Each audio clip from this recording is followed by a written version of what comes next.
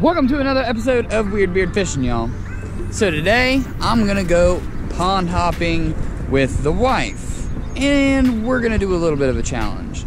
We're gonna go by numbers, and we're gonna see who wins. I'll let her use tiny stuff, I'll let her use whatever she wants.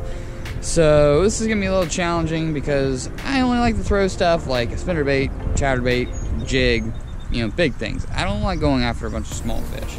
Granted, middle of winter, I'm gonna use the Ned rig. But let's get out here and let's see who wins.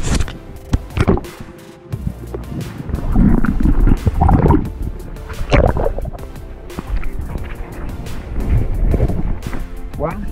I can add that into numbers. oh, it's nice. Oh, flip you up here.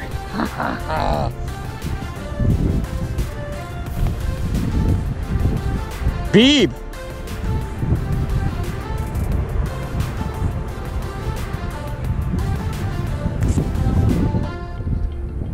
There we go on the board. Now Maggie's not beating me. I definitely have a have a good size here compared to her little dink.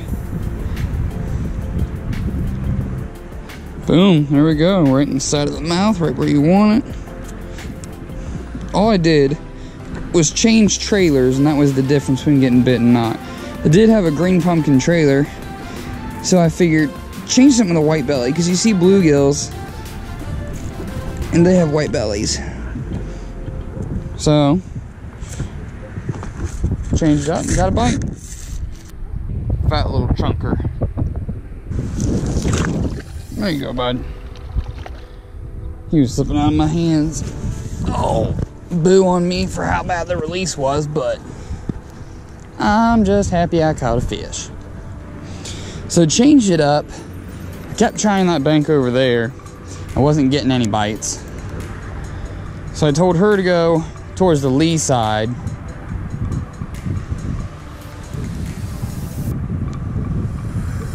And see if there was anything over there. Over where that big uh, little little culvert right there is. Figured, nah, there might be something stacked up over there. And then so I tried the windblown side. I come over here, and this place was stacked up with nothing but bluegill. So my guess is that guy was probably over here chomping on some bluegill. But that's just a guess. I'm by no means an expert.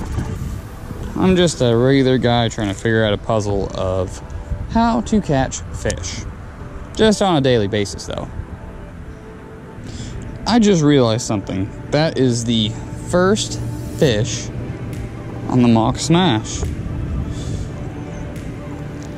Not too shabby if I don't say so myself. It should be a good day. It's not high barometric pressure. It's nice and overcast. It's warm, just a little bit breezy. These fish should be going nuts. My only guess is it's probably still a little on the cold side.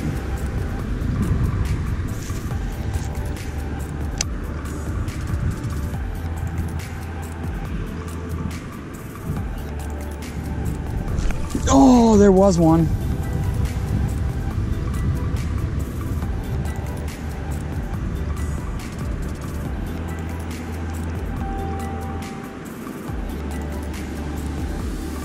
That's definitely a swing and a miss. He was even swimming off with it. I felt, felt him moving, kicking his tail. Frustrating sometimes. There, there he is. Swim back towards me. Got him that time. Ha. Feels heavy for such a tiny fish. He, dude, he like stunned. he didn't even fight at all. He's clenching. He's doing that cold water fish clinch. There we go. Ha. I am beating Babe. I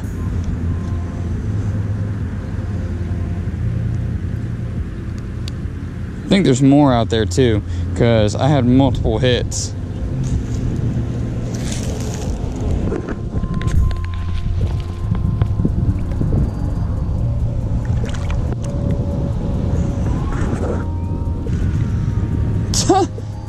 Dude, he just randomly jumped for like no reason. Acting like he's still hooked or something. Late reaction, dude. You didn't even fight when I had you hooked. Man, the way he was swimming towards me makes me think that there's got to definitely be more out there. Because each time he went dunk, and then you could feel him swimming away with it. Well, the first time he went left, if it was the same fish, and then the second time I felt the dunk, it was actually coming straight back towards me. I had to catch up with it. All right, I'm gonna give the spinnerbait one more try just because we're in this corner here. This makes a little cut right here. Maybe there's some fish pushed back into this because this is the wind blown side. Maybe, just maybe, there might be something that hits spinnerbait. Yep.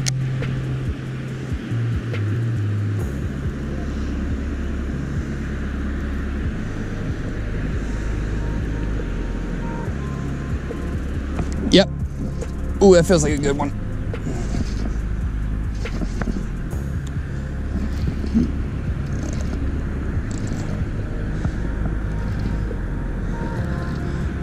Oh, that's a nice one. Stay pin, get up here. yeah. Got a spinnerbait fish. Oh, and it came off for the win. That is number three, man. And that one right there is chunky. Oh, that paid off. See, this is what I was telling you guys. Wind blown area, back in a cut. All these bluegill are getting pushed back into this area, and this thing is probably just feeding up on it.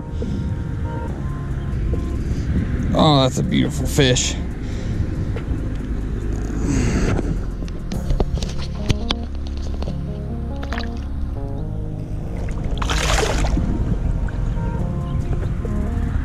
Thank you very much. And I knew there had to be something that wanted the spinner bait. That was the first cast with it over there. And I don't know about you guys, but when I'm banging this off of the bottom and I feel like it hits something that's pretty decent size to it, like a big chunk of grass or a big rock, I jerk it a little bit and give it a little bit more action like it's something, you know, coming up off of that rock. It seems like a lot of times you'll hit something, you'll pull, and then boom, that'll cause that reaction bite. Oh, there was bite. Oh, come on.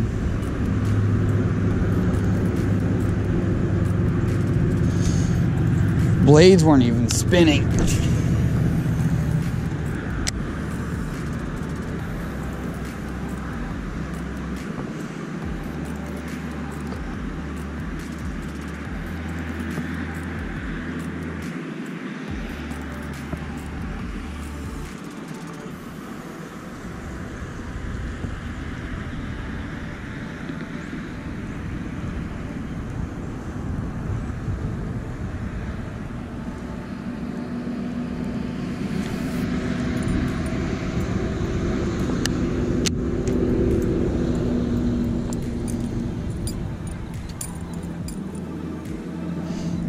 Some of this grass off.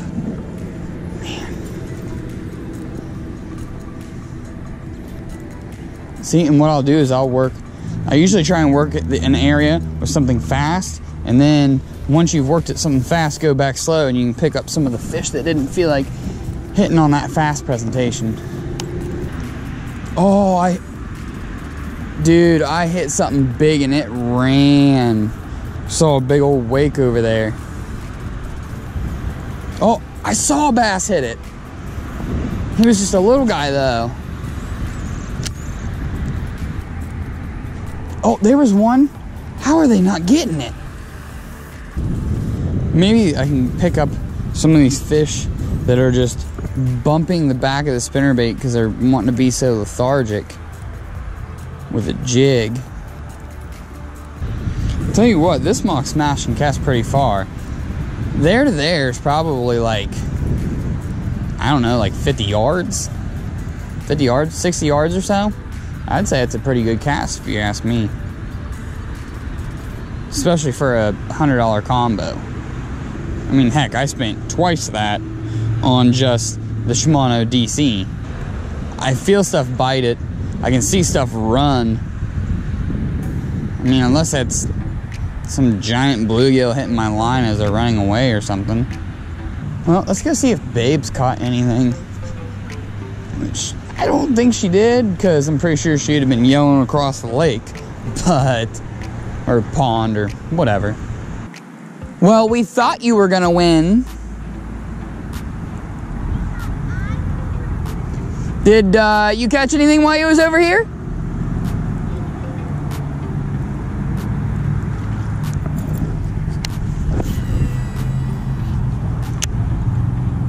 Okay. So, did you catch anything? No, did you catch anything? Three. Three. Pretty uh, decent ones. Yeah, something like two and a half, two and a half, three pounds. Do you want to go to another pond? Although, I'm pretty sure you would catch bluegill on that little inline spinner right there in that corner. They're all over the place. You have to take a picture with the fish or it doesn't count because I can't see you from all the way over there. Well, have a phone. Leggings with pockets. Important. I'm pretty much only gonna try these two corners. This thing is kind of like an X-ish. There's a little cut on each corner. I guess it's like a elongated square with I don't know. Oh, there was a bite. Man. There it is. Oh no! Oh my goodness. Ah. I'm telling you, I keep getting bites, but they are short shotting it. They're getting just the tail of the swim bait or something. You're lucky I just lost that one. What? What? You had a little bluegill?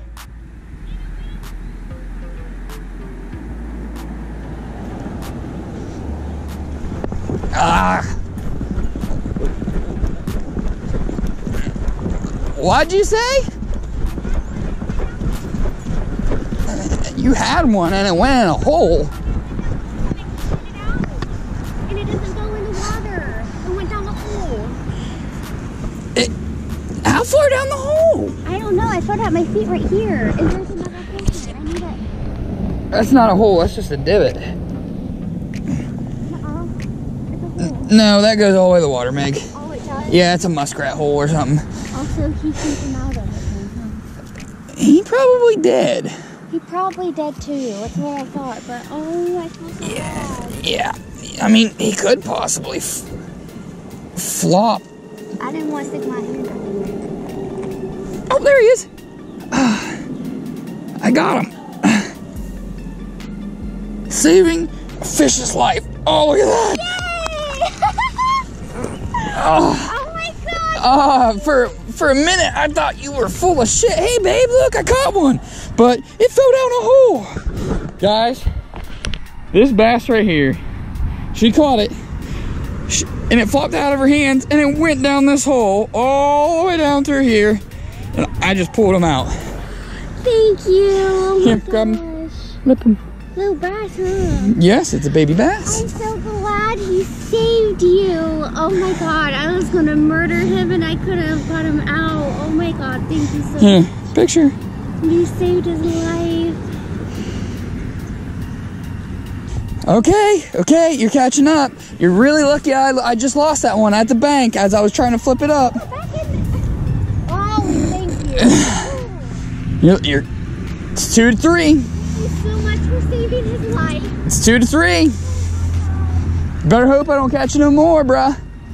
All right, guys. I I can't let her win. She's been doing that too much. Well, I say too much, but she's won like three times ever. But to me, that's too much. It's like Ricky Bobby says if you ain't first, you're last. Always got to be winning. Hold on.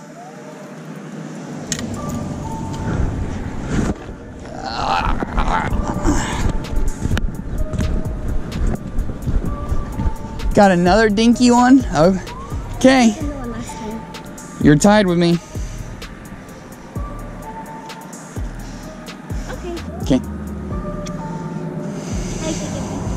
I know you like to catch fishes.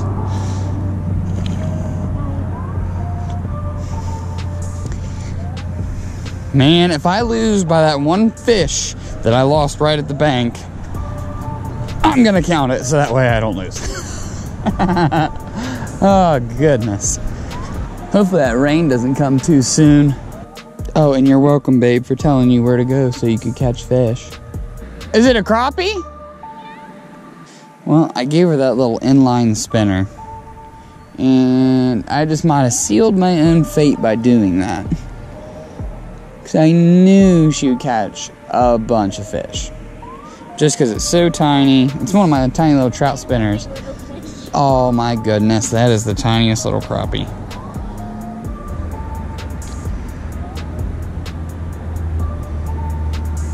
See, I bet you some of the bites I'm getting are tiny, like those tiny little bass that she's actually catching. She's using that little inline spinner.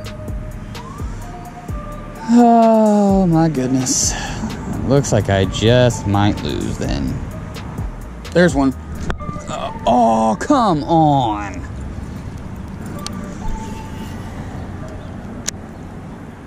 He literally knocked slack in my line. I couldn't even feel my spinner bait.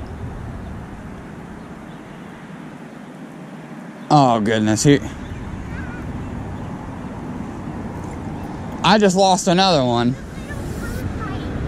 It's a what? It's a little bird bite. Oh my goodness, that is a Oh, grab a hold of him. Isn't he the cutest? One of him to die. No. And I'm over here losing fish. Oh, it's starting to rain. I knew that rain would be coming soon. And Babe got another one. I think at this point she's three up on me.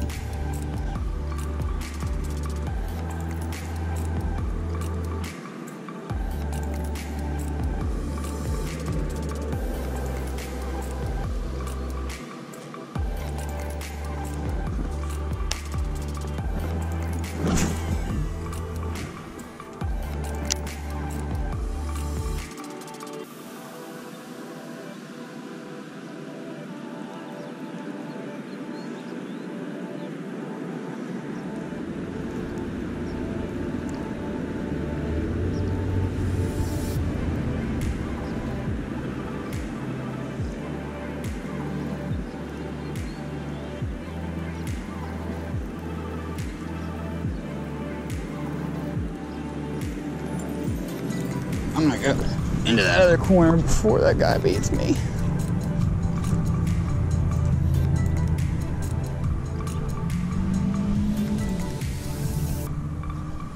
Mm-hmm.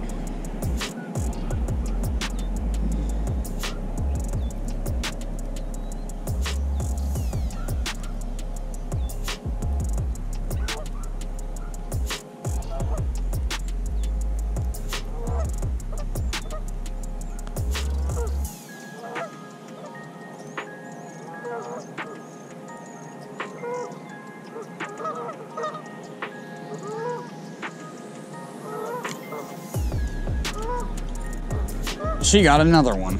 Now she's four up on me. Yeah, I see you. You're winning by four now. Well, with the rain rolling in, it looks like she might win. Oh, it'll end the competition, but it won't stop me from fishing. She'll sit in the truck and play around on Facebook. I'll go to another pond and give it a try. Man, I even told her, go to the, hey babe, go to that corner, you'll catch fish. That's how she always ended up kicking my butt. I tell her what to do instead of like me doing, you know, what I tell her to do. But for me, it ain't about the numbers, it's about the size. Granted, it should be about numbers because it's competition, but she's got another one. My goodness. Now she's winning by five. Yep, you're winning by five now. Alright guys, so as I'm sitting here editing this video, I realized I never did an outro because that day was the day that I went to Allen Creek after this challenge and went and caught that big muskie. I wasn't thinking about doing an outro then. But in conclusion, she beat my butt. She beat me by five fish, but I gave her the lure to do so, and I told her where to go. So, it's still a win in my book. We both had fun. Get out there and tight lines, everybody. I'll catch you on the next episode of Weird Beard Fishing.